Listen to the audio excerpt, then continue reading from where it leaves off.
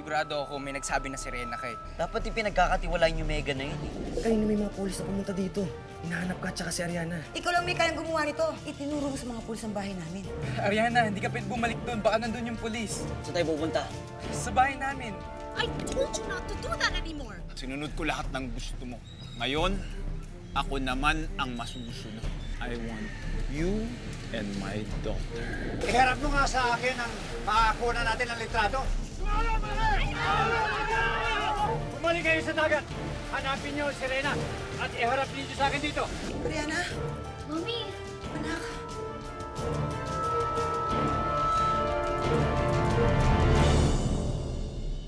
Huwag ka na mag-alala, anak ha. Wala na yung mga humahabol sa'yo. Eh, Manny, paano po kung hindi pa rin po sila tumigil at hanapin pa rin nila ako? Itataya ko ang buhay ko para bantayan ka. Hindi kita isusuko kahit kanino.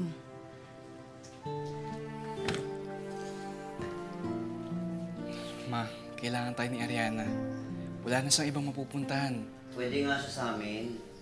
Huwag ka nga umepal. Di ako may epal, nagpipresenta ako ng tulong. Sige nga, paano daddy mo? Sigurado akong matatanggap niya si Ariana at kaya niya magtago ng sikreto.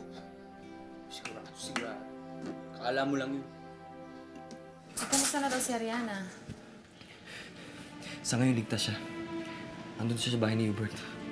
Andun si ate para samahan siya. Yung pulis na dumating kanina, sigurado ba siya o naghihinala?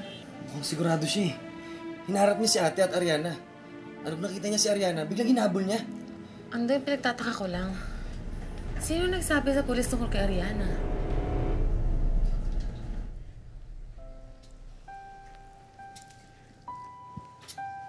Ophelia, gusto ko man kayong tulungan ng anak mo. Ang iniisip ko naman yung kaligtasan namin ni Hubert. Yun din naman po ang iniisip ko eh. Ayoko naman po na madamay kayo. Ka mag-alala, anak ha. Hahanap tayo ng ibang paraan. Ang importante ngayon, magkasama tayo. Ha? Nakakaawa naman kayo. Dito na nga lang kayo. Mamaya, may mangyari pa sa inyong masama. Hindi ako patulugin ng konsensya ko. Sigurado ka ba, Ibiyang? Oo naman, Ophelia. Ina din ako. Naiintindihan kita. Salamat, Ibiyang, ha.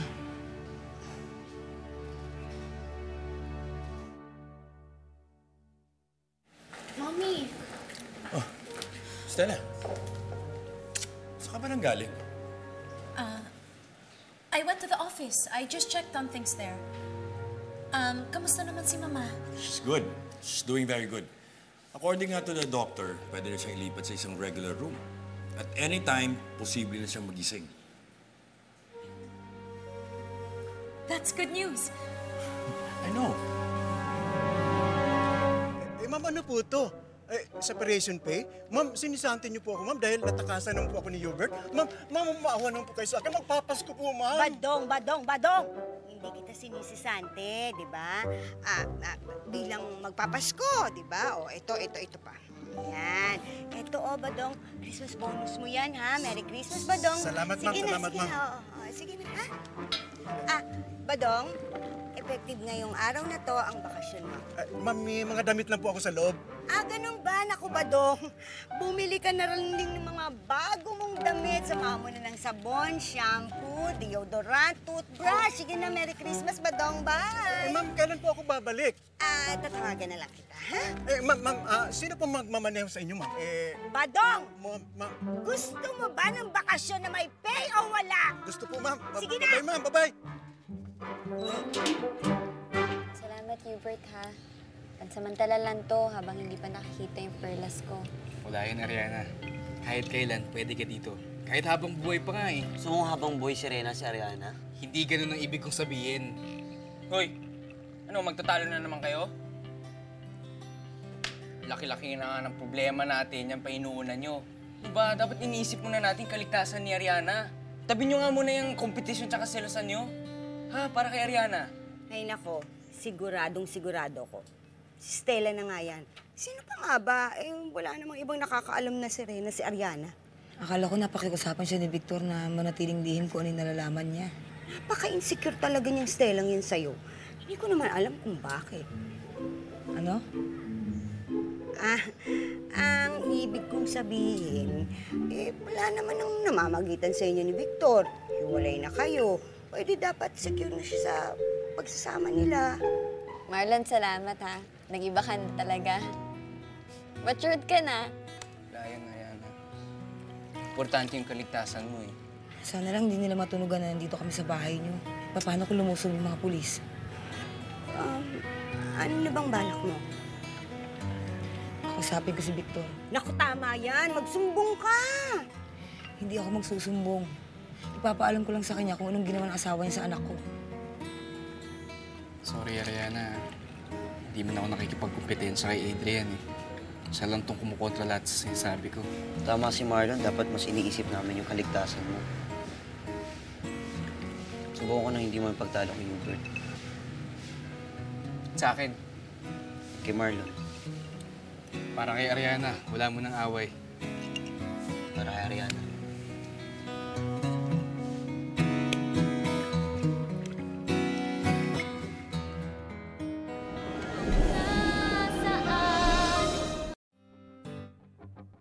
Ayos to ah.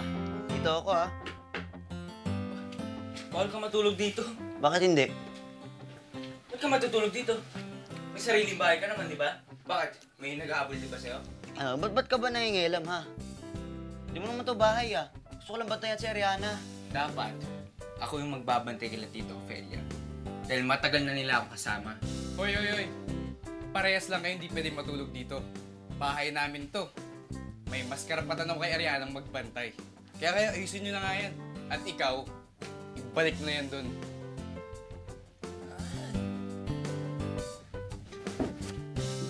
Ay, sorry. Kita nakita eh. May naayos na agency yung visa ko. Standby na daw kami para sa deployment ng barko. Gaano ka daw katagal mawawala? Depende sa kontrata mo eh. Pinakamatagal na daw isang taon. Pero sabi nila, nine months lang daw, p- pwede na magbakasyon. Huwag ka mag-alala ma. Hindi naman ako mahiwalay na matagal sa inyo eh. Ophelia, diyan ka na lang ha para si Hubert tsaka si Ariana na lang doon, ha? Oh, sige. Ah, sige. Ay, may dalawa pa pala. Akala ko kasi apat lang tayo eh. Ay, nako, kung kailan naman walang katulong, tsaka naman daming hugasang pinggan. Tutulungan ko kayo mamaya, ma. Maghugas ako ng pinggan. Ako rin po. Sanay po ako. Ikaw, sanay ka ba? Tutulong din po. Ay, shit! Mga hasan. Yung anak ko dyan, doon kayo. Doon, doon, doon.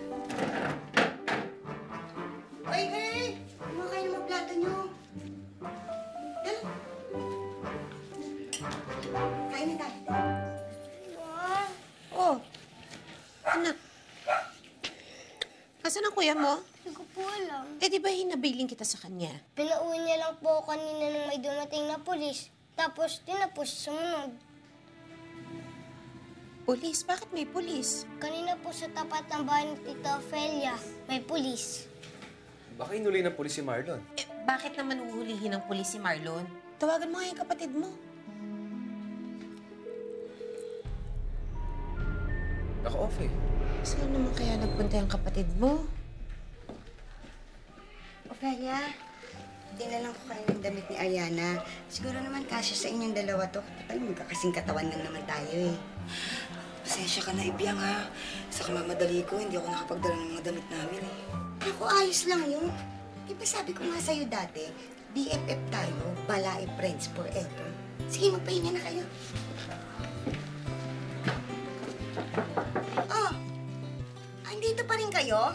Huwag niyo sabihin sa akin dito pa rin kayo matutulog. Pwede po ba? Ay, hindi. Umuwi kayo. At baka mamaya yung nanay nitong tigre, eh, sugurin pa ako. At ikaw naman, yung tatay mong cute, eh mag-alala pa. Sige na, umuwi na kayo. Tara, uwi na tayo. Babalik ako bukas, Ariana. Ah, sige na, sige na. Bye, Marlon. Bye, Adrian. Salamat sa Bye. tulong niyo, ha. Wala yun. Bye-bye. Bye. Bye-bye. Bye-bye na. O sige, anak, diyan ka lang. Sige. Hubert, sige, magpahinga ka na rin ha. Salamat. Sige, good night. Salamat, Hubert. Mo nang alalahanin si Ariana. Sa mabuti na siya makakamay. Concerned lang ako. Ako rin naman eh. Pero may tiwala ako kay Hubert. Ako wala. Alam mo dati, parang ikaw ako. Ano? Wala rin akong tiwala kay Hubert noon. Nagagalit niya ako kapag lagi niya kasama si Ariana. Nagsiselos ako kapag mas nakakalamang siya sa akin. Pero tanggap ko na. Tanggap ko na na mas maraming kayang gawin si Hubert na hindi ko kayang gawin.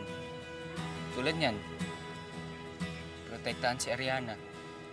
Alam mo, kung mahal mo talaga isang tao, kailangan na rin natin siyang paubaya sa mas makakatulong sa kanya. Hindi ko ipapaubaya si Ariana. Isikapin ko lahat gawin yung ginagawa ni Hubert. Kaya kong protektahan si Ariana kung bibigyan ako ng pagkakataon. Hindi ako susuko.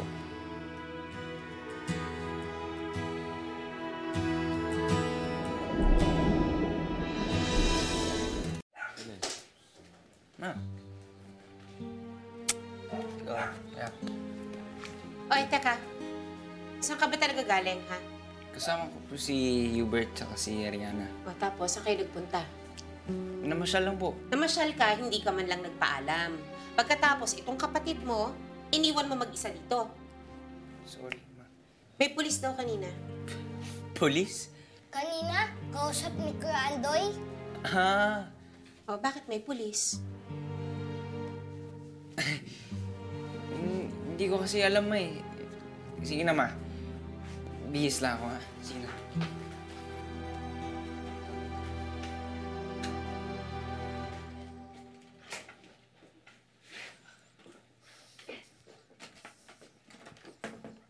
Hoy Marlon, bumabalik ka na naman sa dati ha. Umalis ka na hindi nagpapaalam. Pasensya na kuya, nakalimutan ko lang talaga.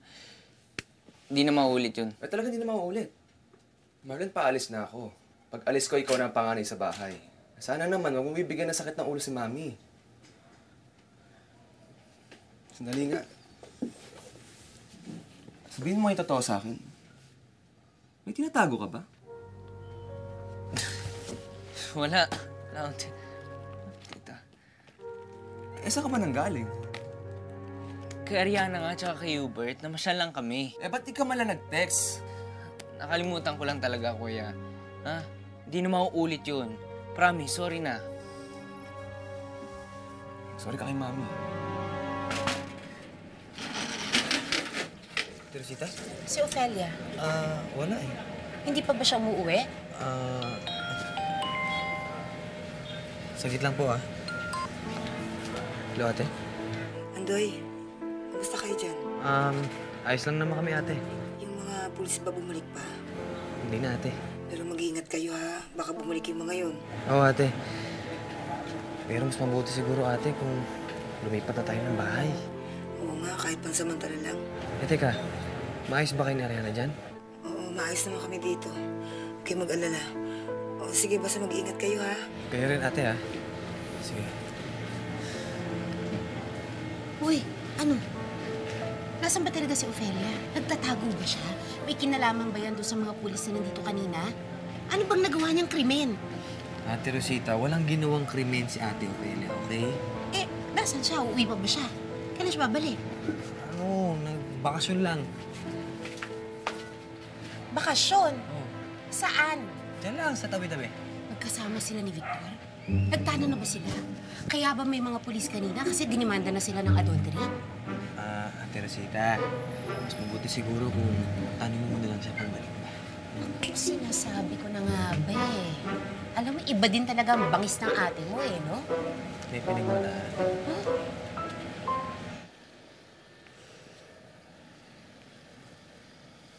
Grabe ka naman ma-inlove, anak. Buwis buhay talaga. Kapag habulan kayo sa mga pulis. Buti na lang hindi kayo na-aksidente. Anak, huwag mo nang uulitin yun, ha? Hindi ko na alam kung anong gagawin ko kapag may masamang nangyari sa'yo. Anak, ba't ka pa natutulog? May kailangan ka ba? Kain. Tubig, anong gusto mo? Ayos lang po ako, Mami. Iniisip ko lang po kasi, ano na po mangyayari sa atin ngayon? Lagi na lang ba tayo magtatago tsaka tatakbo? Hindi nga po pala ako makakatakbo kasi wala akong paa. Anak ko, nagjo-joke ka pa ha. Mana ka sa akin, jokera. Sorry, ma. Naisip ko lang naman kanina na makatakas kami. Anak, dalawa na lang tayong magkasama ngayon. Sana naman lagi kang mag-iingat. Hindi naman porket gusto ko na si Ariana para sa'yo. Sang-ayon na ako sa pagpapaka-action star mo para sa kanya. Anak, okay na yung mati ni Idol. Cute lang. Yun ang ganun. Mami, sa sitwasyon ko po ngayon, kailangan lahat idaan na lang sa tawa. Kailangan laging GV. GV? Gandang gabi, Vice? GGV naman po yun. GV po, good vibes. Kailangan po laging positive lang kahit anong mangyari. Naku, paano naman tayo magiging positive niyan? Nahanting ka nga ng mga pulis. Pagkatapos, mawawala pa yung perlas mo. Salamat, ma. Tanggap si Ariana para sa akin. Anak, hindi yun dahil sa daddy niya, ha? Kahit naman itakwil si Ariana ng mga Mendez. Dahil sa pagiging sirena niya, kahit maghirap sila ni Ophelia at wala silang pera, gusto ko pa rin siya para sa'yo. Dahil mabuti siyang tao. Mabait na anak. Tigit sa lahat, mahal mo siya. Salamat, ma. Mami, kahit ano pa pong sitwasyon natin, basta kasama ko po kayo, kaya ko lahat.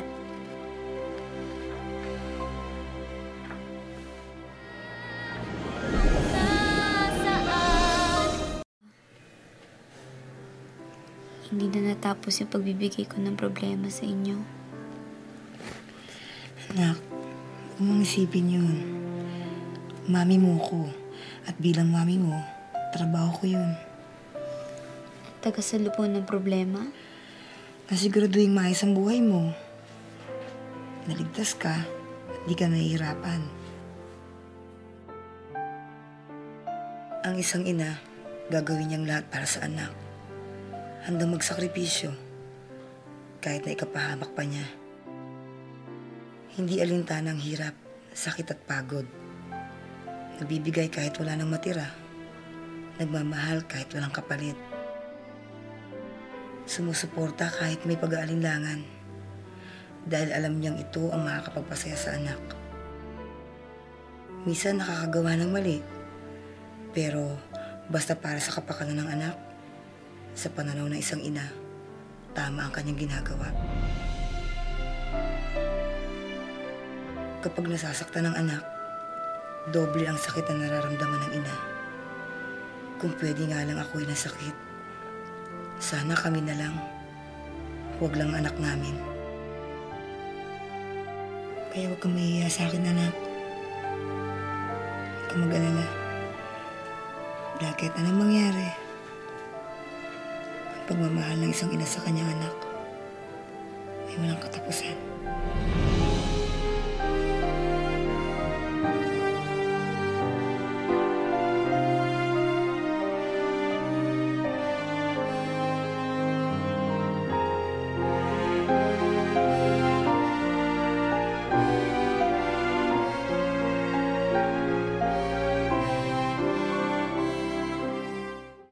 May sirena ding nakita naman manan sa Manila. Kaya bibigyan ko ng dalawang milyong piso ang sino mang makapagdadala sa akin ng sirena dito sa harapan ko. Okay lang ba kung iwanan kita dito sandali? Kausapin ko si Victor. Kailangan niya malaman ang nangyari kahapon. Ano ito? Saan ang punta nyo? Tumatakas ba kayo sa pulis? Nasaan si Ariana? Si Ophelia, nasaan? Nandiyan ang Serena. Oo, Paano magkakaroon ng Serena sa lugar na ito? hindi ko alam. Pero siguradong sigurado ako. Na dyan nakatira ang sirena.